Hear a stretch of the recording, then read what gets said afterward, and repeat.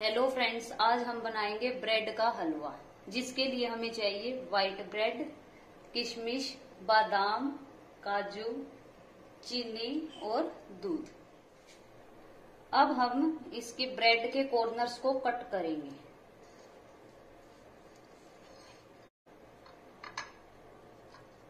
आप इसको किसी भी चीज़ नाइफ से कट कर सकते हैं।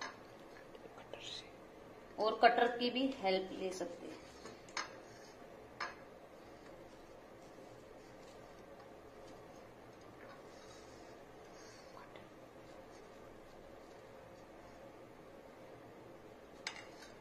ये देखिए, इस तरह कट कर लेंगे हम इसको, और इसके बाद में हम इसको मिक्सर ग्राइंडर में इसको बिल्कुल बारीक पीस लेंगे। ये देखिए, हमने पहले ही पीस के रख रखा है। ब्रेड का हलवा बनाना स्टार्ट करते हैं। इसके लिए हम गैस ऑन करेंगे और इसके ऊपर कढ़ाई रखेंगे। इसके अंदर हम घी डालेंगे। आप घी उस अकॉर्डिंग डालिए जितनी आपके ब्रेड का ये चूरा है।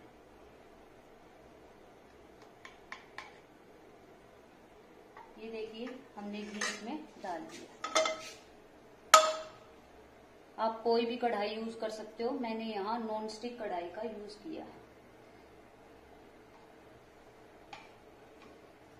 इसके बाद में हम इसमें धीरे धीरे ब्रेड का चूरा है, डालेंगे।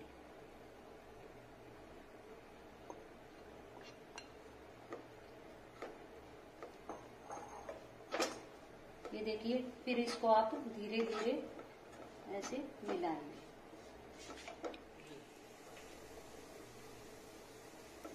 अब हम इसको मिलाते रहेंगे जब तक ये बिल्कुल ब्राउन नहीं हो जाती। ब्रेड का हलवा खाने में बहुत ही टेस्टी होता है। ये सब लोगों को बहुत पसंद आता है। जब तक ये गोल्डन ब्राउन नहीं हो जाता, हम इसको हिलाते रहेंगे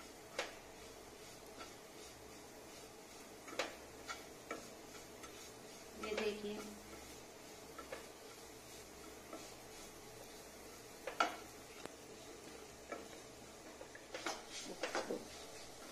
ये देखिए, ये ब्राउन होना स्टार्ट हो गया है। ब्राउन होने के बाद में हम इसके अंदर दूध डालेंगे। दूध से इसका जो कलर है, वो भी बहुत अच्छा आएगा। और ये टेस्ट में भी बहुत अच्छा बनेगा।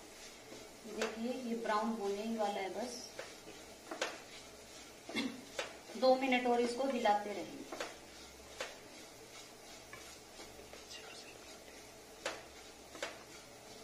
अगर आप इसमें पहले ड्राई फ्रूट डालना चाहते हैं तो डाल सकते हैं। अगर बाद में डालोगे, तब भी गोल्डन ब्राउन हो चुका है। अब हम इसमें पहले ड्राई फ्रूट डालेंगे ये मैंने काजू डाल दिए हैं।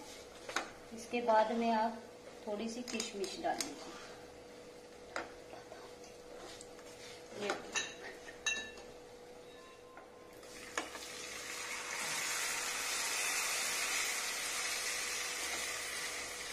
देखिए मैंने यहाँ वन एंड हाफ़ गिलास दूध लिया था।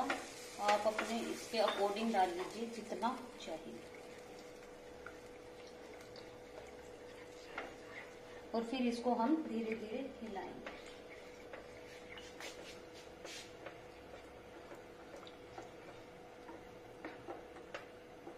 आप अपने अकॉर्डिंग दूध डालिए, अगर आप थोड़ा और डालना चाहते हैं तो इसके अंदर डाल सकते हैं। ये देखिए। और कच्चा दूध अगर यूज़ करें तो वो बहुत ही अच्छा रहता है। अगर आप इसमें मलाई डालते हैं तो वो भी आप यूज़ कर सकते हैं।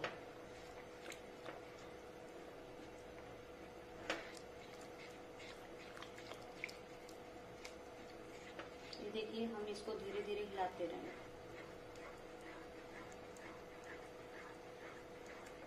ये देखिए अब ये हलवा पक चुका है।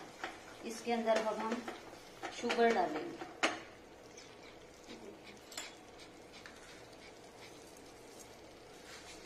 शुगर आप अपने अकॉर्डिंग डाल सकते हो। लेकिन अगर ये हलवा पूरा शुगर से कवर हो जाएगा इट मीन्स वो बिल्कुल मीठा हो चुका है। ये देखिए।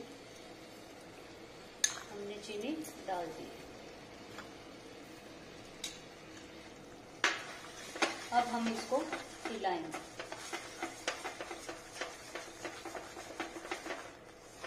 हम इसको तब तक हिलाएँगे जब तक ये चीनी बिल्कुल मिक्स नहीं हो जाती।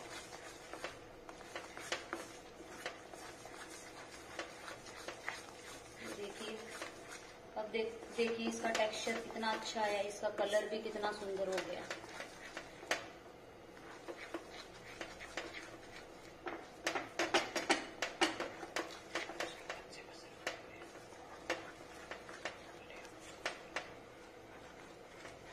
देखिए। इसको हम ऐसे हिलाते रहें अब हम इसको जब तक हिलाएँगे, जब तक ये पूरी तरह पक नहीं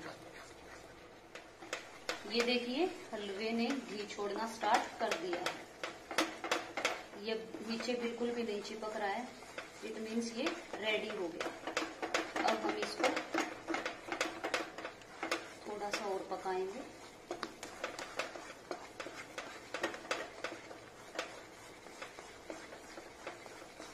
ये देखिए, अब इसने बिल्कुल घी छोड़ दिया। अब ये पक्के बिल्कुल रेडी है। अब हम इसको सर्व करें ये देखिए, अब ये बिल्कुल पक गया है। अब हम गैस को बंद करेंगे और हम अब इसको नीचे उतारेंगे। ये हलवा आप ज़रूर ट्राई कीजिएगा और कमेंट सेक्शन में बताइएगा कि आपको कैसे, कैसा लगा। अगर अच्छा लगा तो मेरे चैनल को सब्सक्राइब कीजिए लाइक कीजिए और शेयर कीजिए। Thank you